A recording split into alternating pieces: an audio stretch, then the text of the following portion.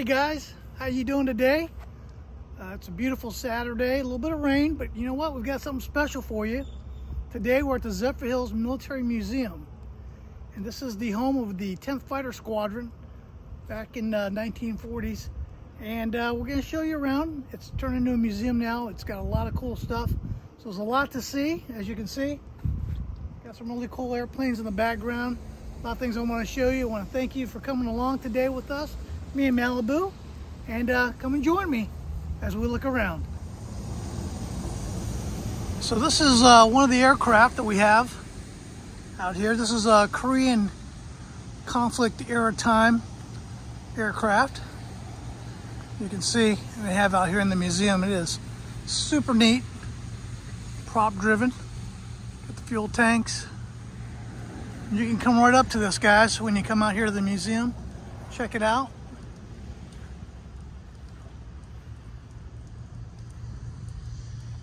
Up close and personal. See the interior of that thing.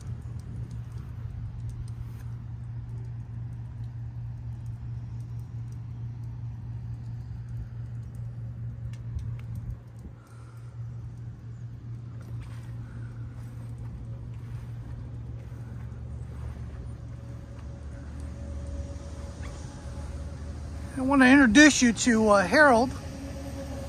Harold was in the uh, Korean conflict. He was in the army then. He's retired. And Harold's one of our volunteers here. He's going to give us a little overview about this aircraft. How you doing, Harold? Thank you for being doing out with us today. Doing good. This is Harold. This aircraft was used in Korea and the Vietnam era primarily as intelligence gathering. It had a crew of two, the pilot and an intelligence person gathering the information. And it flew, like I said, in both Korea and Vietnam era. Very nice. We'll just take a quick overview all the way around this beautiful aircraft of yesteryear.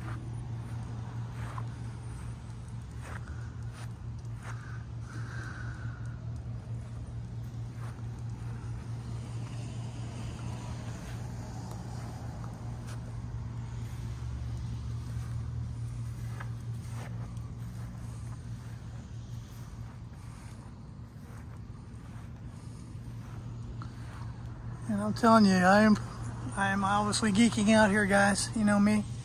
Love everything military, being a former vet or a current vet, former full-time army guy. Go Army. Super plane.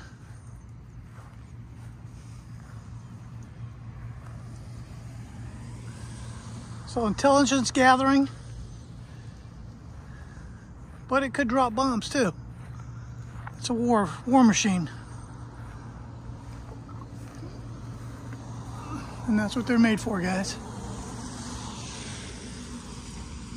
Beautiful.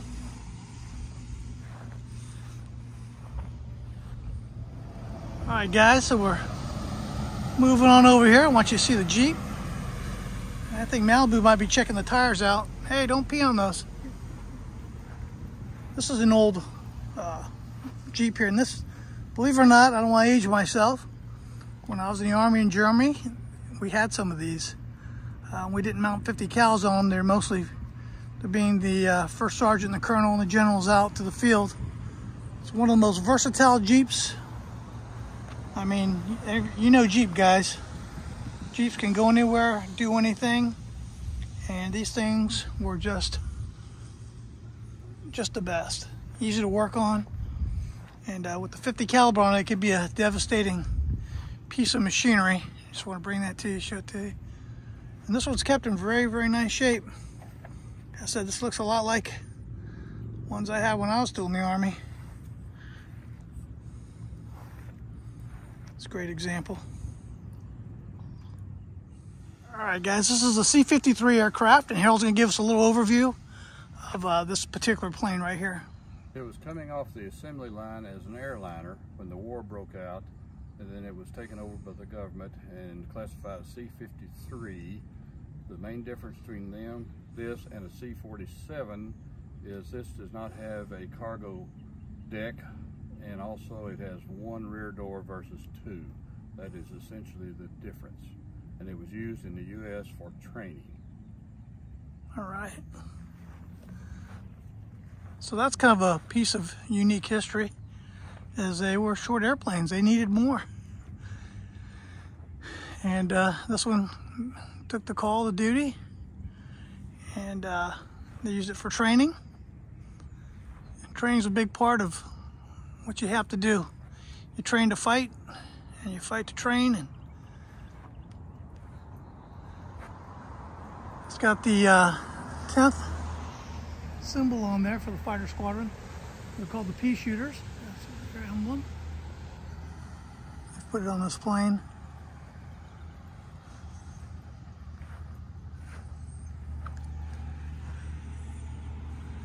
It's absolutely massive dual engine props.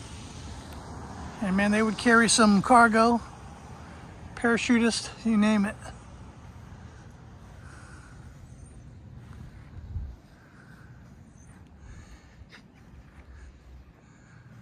So she's also out here at the museum. Come by, check it out. I know this is old Deuce and Half. This is an earlier model. We had them too, but this one's definitely a little bit older. A little bit different setup. I've driven some of these myself. It's tucked underneath the, uh,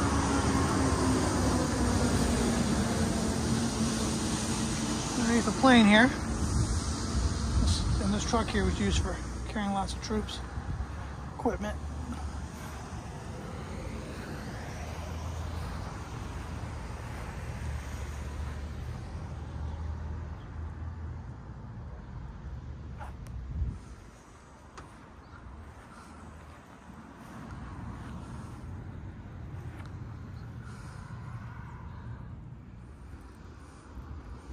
All right, guys, and now we're moving to the Navy Whaler. And uh, it was used in the Navy. Haul stuff back and forth. Bring troops back and forth. You can use it for patrolling the harbors. But they've got one here. Pretty good shape. Nice haul. So anything former military and preserve is a great thing. we're going to come over here towards the museum. They keep the grounds here. It is at the Zephyrhills Airport. I want you guys to see this little beauty here. I uh, talked to Harold about it. Well, it wasn't known. But if you ask me, this thing looks like one of those subs the Navy SEALs attach to submarines and then go on clandestine missions to secret places. Never seen one of these before other than a couple of Navy training films about SEALs, but we're not 100% sure, guys. But uh, somehow one got here at the museum, and I think it's pretty cool. So, want you to check that out. It's experimental one, so maybe this is how it all started. I want to bring to you guys attention here. They do have a in the memory and thanks for service and sacrifice to the 10th Fighter Squadron. And you can uh, have a brick donated and helps them out. Thought that was definitely something worth showing you guys. It's on the side here.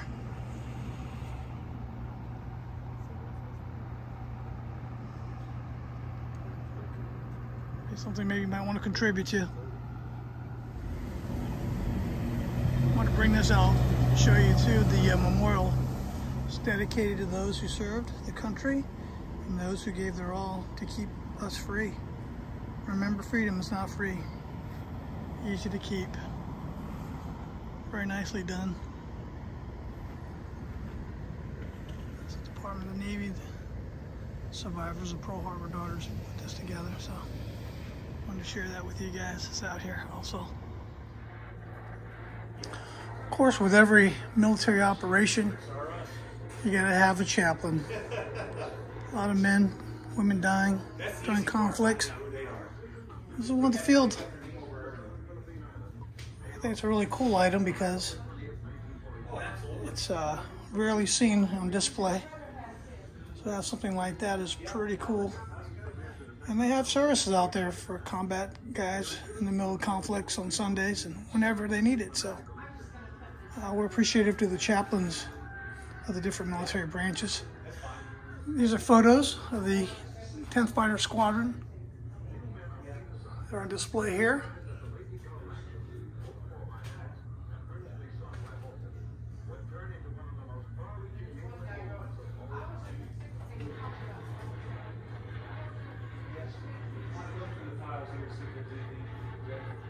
And this top display is a Purple Heart.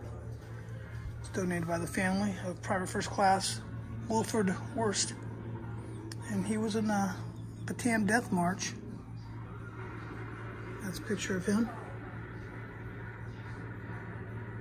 And uh, letters from his family letting him know that he had passed away from that.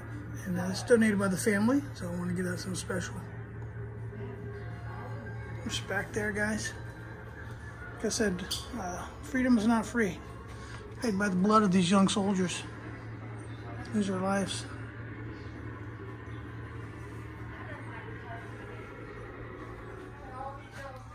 Some models here.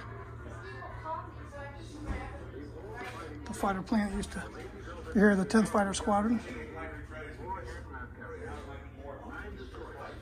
They've got some history you can learn about here.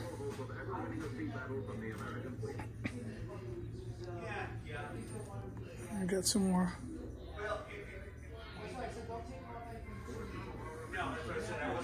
More photos of the 10th Fighter Squadron.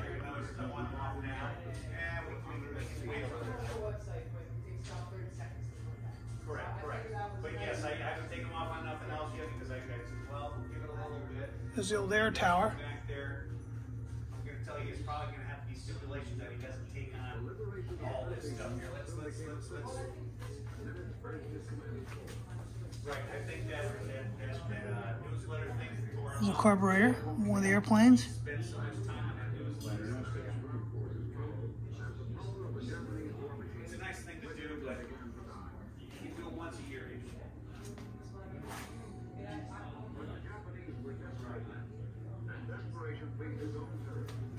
This is a heated flight suit. Something you don't see too much of.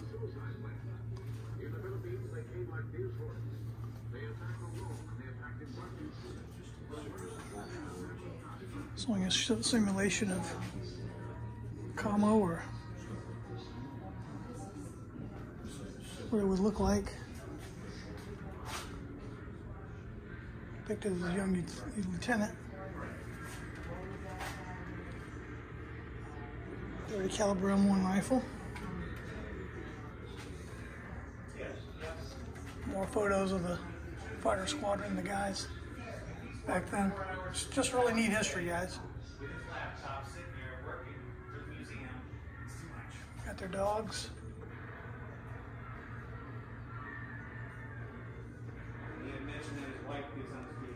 Zephyr Hills in 1943. So Zephyr Hills has a lot of local history.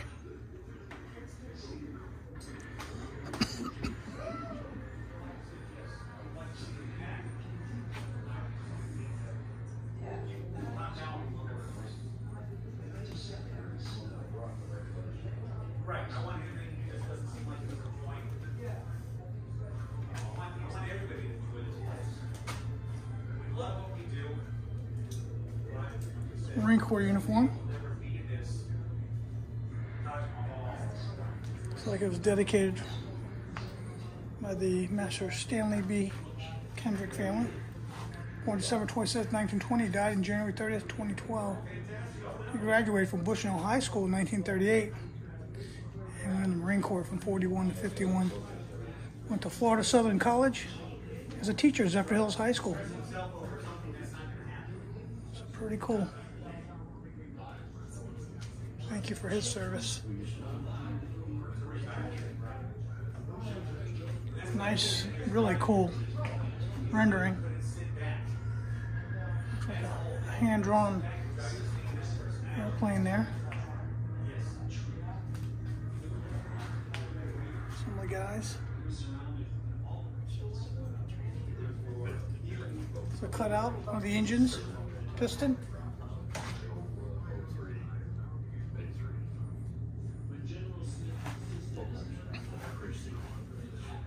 Communication stuff. More military bayonets and pictures and memorabilia.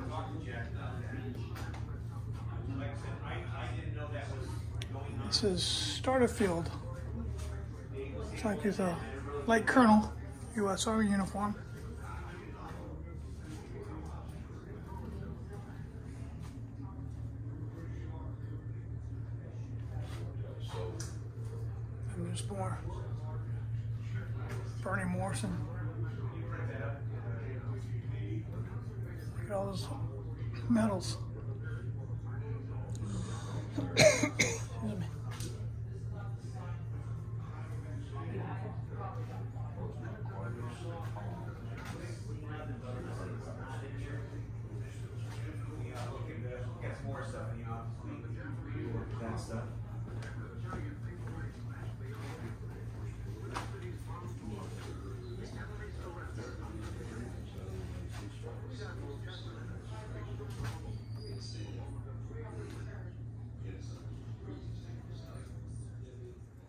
This is the Korean War Room.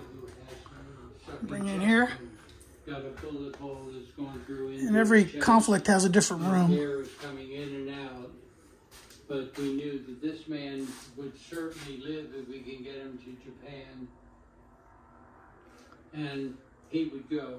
And this other man Air Force uniform. put a dressing on it and give him morphine for pain. CBs and SP with shore police. And it's a morbid thought that we set him aside to die, but we did. That's what we did.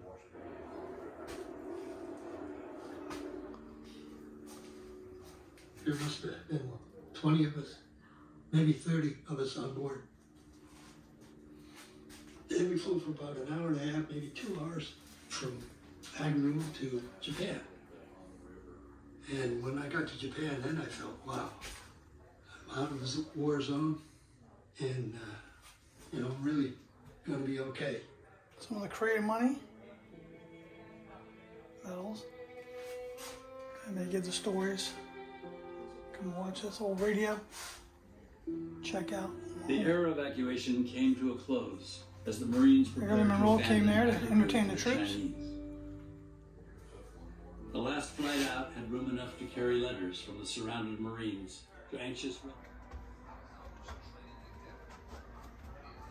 And I love the war posters. That was pretty famously known right there. Do more for little.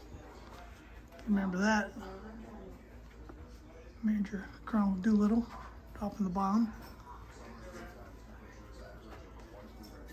This is the Vietnam War room. Just go right back that way, and someone will be right with you. The men must cut their way through eight There's Bob Hope. sharp elephant rats and Bob Hope, he uh, entertained the troops. Martha Raye. But this is only part of the problem. The countryside is also infested with thousands of poisonous insects and snakes, including one of the deadliest in the world. Very well put known as the together displays here. For the number of steps a bite victim can take before These are the food packets, they call it MREs. And there's a flak jacket. I used to wear one of these when I was in the army on the border. Navigate this treacherous terrain under the That was one heavy, heavy vest to carry around. traps, looking for any signs of the elusive Viet Cong. Ronald Dock, Vietnam 1968. Tell the radio man to call back at camp and tell him we're gonna search it fast. So 113, I used to drive one of those in the army.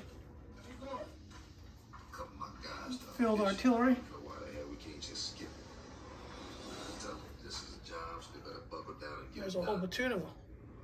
113s out there in the bush. As Brown and his men enter the area, they quickly realize. So these are sea rats. Came in the boxes. I heard they were always a little bit better than the MREs. network of scouts and sympathizers who alert them to the Americans' presence, allowing them them to choose when and where they want to fight. The best the Americans can do now is destroy any hidden enemy weapons or supplies they can find. I always tell these guys you gotta go slow. You gotta take your time, go do these things. But none of them listen to me. All they wanna do is get done and get back in camp. This one guy. Cool he thinks fighter he's been out pilot. here so long, he knows everything there is to know. Used to So, belong to what does Lyndon do? T. Lavina, Instead Major just going down and USMC. right slowly, just see Very cool flight suit, flight bag.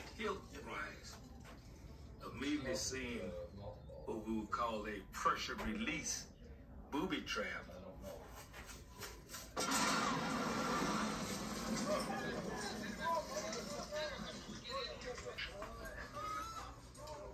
The booby trap blasts Brown and two of his men with shrapnel.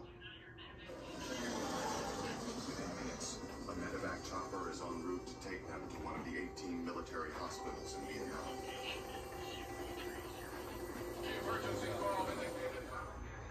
All right, guys, this is a World War II room.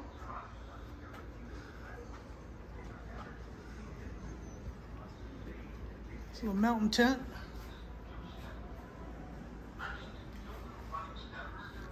I can tell you a little story about this tent. Used to call it GP Small. It was you and one other soldier.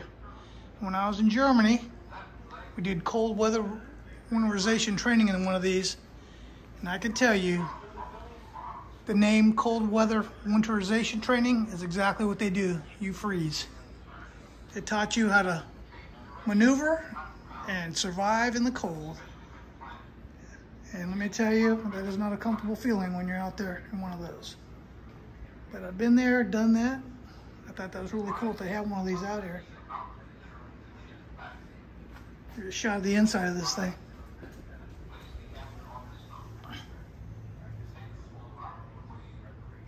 You're snug as a bug in a rug. They were put together real easily also.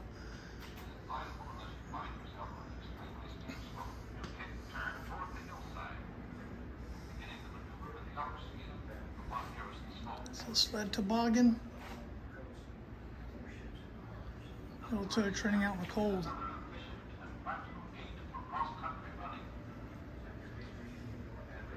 It's got a neat cutout of a kind of a door gunning machine gun. 50 caliber. Nice cutout. The ammo would come out the box, down the belt, into your gun. You had to set your timing on these things. This was called a butterfly trigger. It's nice cutout. Very well put together. And then they've got uh, all the different uniforms here, probably donated or collected. What's Air Force, Army, Sergeant Major, Gunny Sergeant, Marines. An Imperial Japanese Army type winter wool. That's different. Japanese Army tropical combat uniform.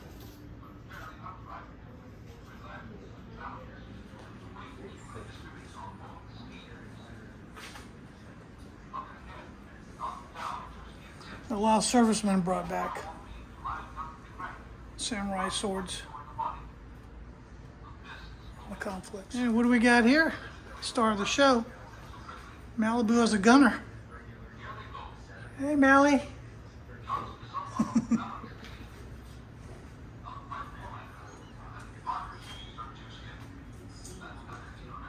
German uniform. World War II. German hand grenades. Very, very cool uniform. See one of these.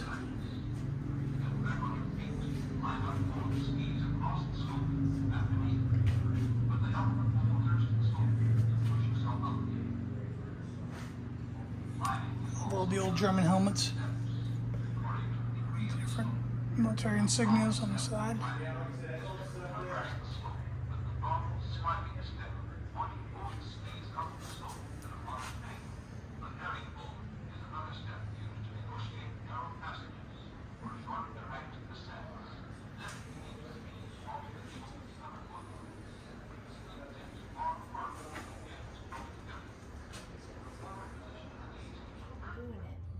So this is a U.S. Navy room. Oh.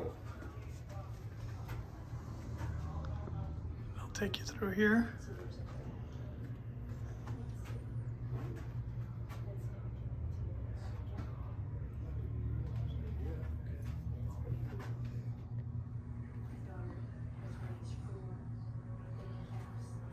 Now this is a unique story about Charles and Agnes Cleland. And there's their wedding photo.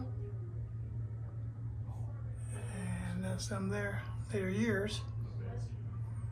And here's a Pearl Harbor survivor. The story I just learned, which is absolutely amazing, was he was stationed on USS Helena in Pearl Harbor. This is where the boat was during the attack of Pearl Harbor. Charles was putting the flag out on the front of the ship, just like that.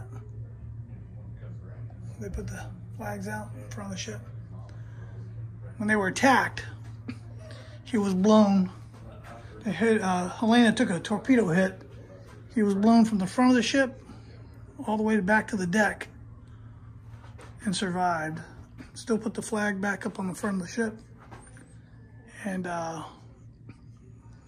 had multiple injuries, recovered, went back out on another ship that was sunk, ended up on an island and was rescued there. So this guy was twice, you know, put in harm's way, nearly killed. He came back to talk about it, Pearl Harbor survivor. Really cool story. Make sure you come and take a look at that in the Navy room when you get a chance.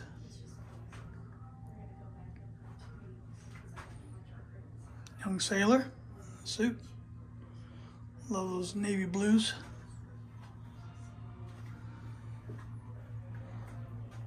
These are some Pearl Harbor survivors. But I was told there's only one of them left now.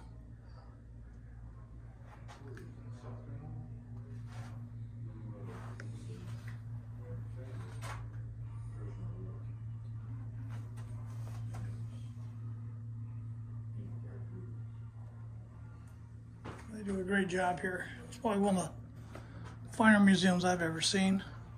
There's a famous end of the war picture there. And this is the nurses' quarters. And this is a tribute to the women in uniform. The women that helped out during the war effort.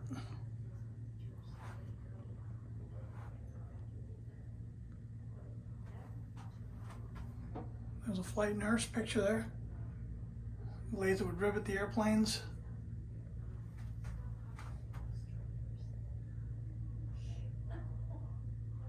On the nurses, outfits, uniforms, I mean. And this is a story I just heard of.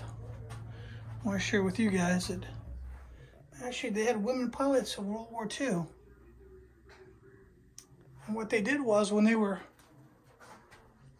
bringing the airplanes off the assembly line, actually women pilots would take those to the front and they would fly them from the U.S.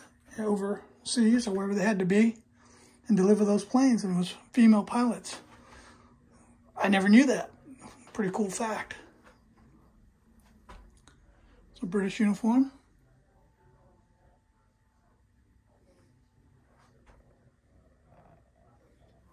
Picture of Bernice B. Falk Haydu, pilot.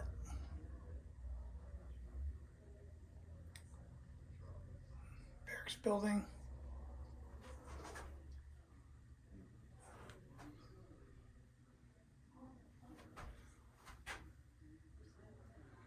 We can do it.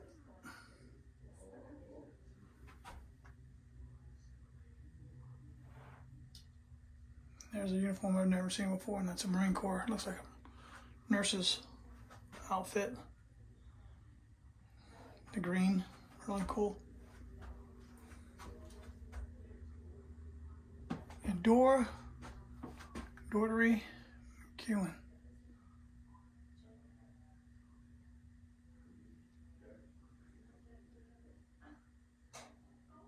That's the riveter. Right there.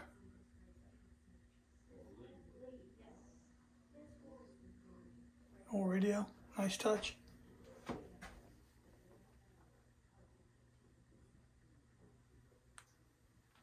So, so much to see here, guys. A really cool museum. Really appreciated the Harold walking through with me on this and give me some tidbits on everything and everybody.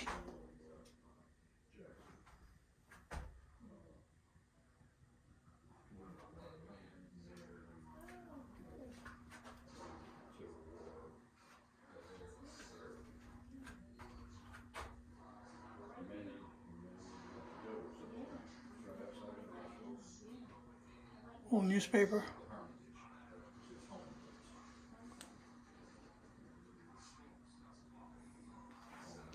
I'm gonna go over here to the older Civil War section. World War One.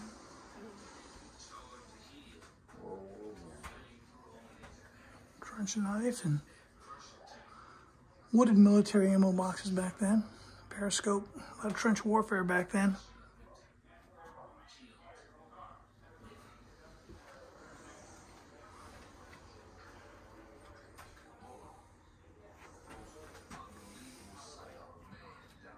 A lot of nice items been uh, either donated or collected. Old shell. A little tidbit about the shell I never knew. Just learned today from Errol. Is that they actually did some rifling on the barrels and tested this shell out. Had a band on there to get better accuracy on the cannons, which I never knew they did that in the Civil War. But they did.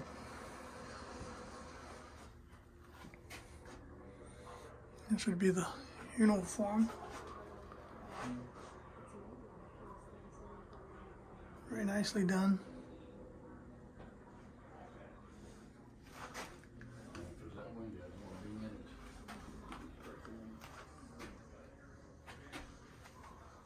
Four-star general hat.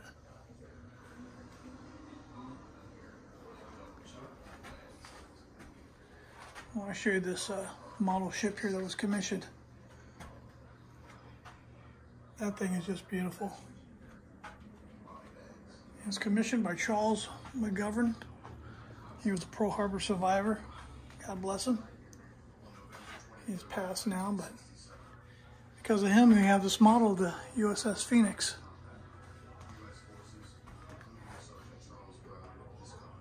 That's him in his younger days there. So thank you to his family for donating that to the museum. Very nice. USS Phoenix. The Brooklyn class light cruiser.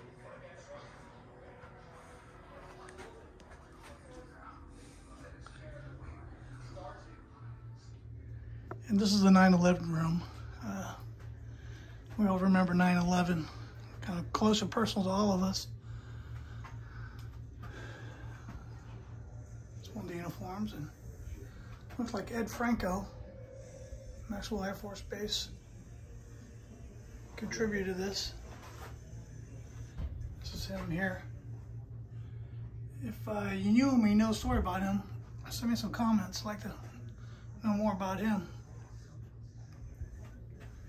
Of course, we all remember the attack.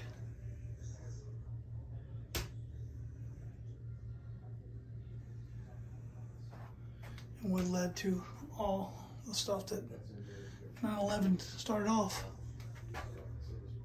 this is an actual New York Fire Department uh, bunker suit was donated.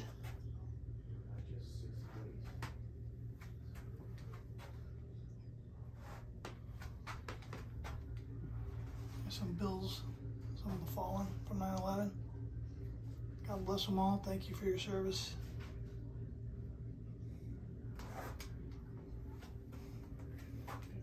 Everybody kind of remember where they were at when that happened. These are all the New York City Fire Department pictures and members who gave the supreme sacrifice that day. I mean, just so many brothers and sisters in arms, police, firefighters. It's just a horrific day.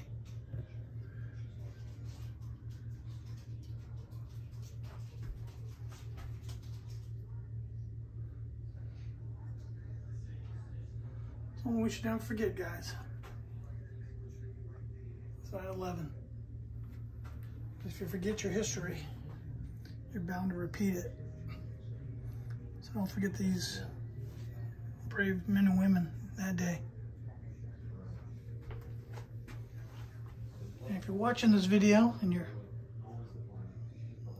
family one of the survivors or one of the survivors' uh, spouses, thank you and leave a comment section about some of your personal names of those that you may have lost that you know. We dedicate uh, this video to them and the loss of them. Thank you to all the folks who gave the uniforms and stag displays here. Very important time and day to remember this.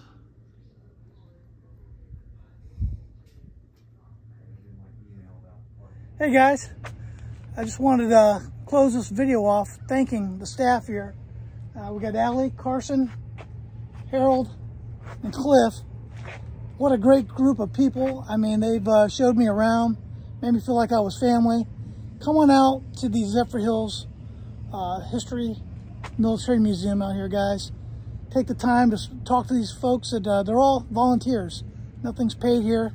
This is all coming of the love of their heart. They enjoy doing this and they love meeting folks like you who are out on adventures. So uh, thank you again for watching the channel today. I hope you enjoy this special segment in this military museum. Thank you, thank you again to these guys and girls. And uh, what can I say? It's just been a great day. Uh, come back, check out another video for Adventures of Malibu and Dad. And until then, get out there and adventure. And thanks for watching. Take care, guys. Bye-bye.